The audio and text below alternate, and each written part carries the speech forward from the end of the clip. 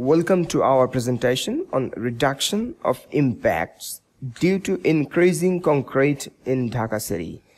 Dhaka is one of the top overpopulated cities of the world.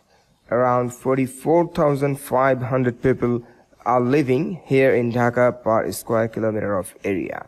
In addition to this figure, hundreds of thousands of flooding people are coming in and going out from the city every week which is creating an enormous pressure on its ecosystem. To meet up the demand of this large volume of people, the concrete infrastructures are burgeoning every day.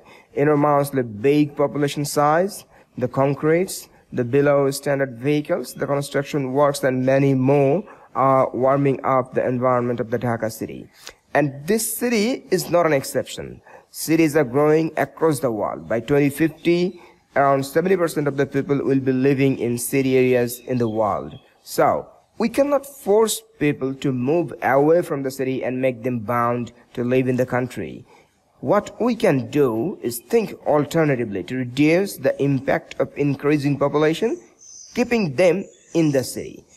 Our vision is to have a city with cooler microclimate against urban heat, beautiful ecological landscape, the productive landscape, vertical landscape, increased urban biodiversity, beautiful and activated public space.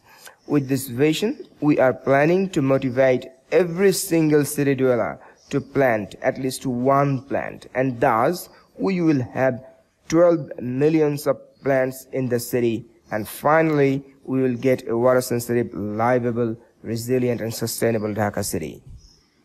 Now, let's have a look what we have done in achieving so.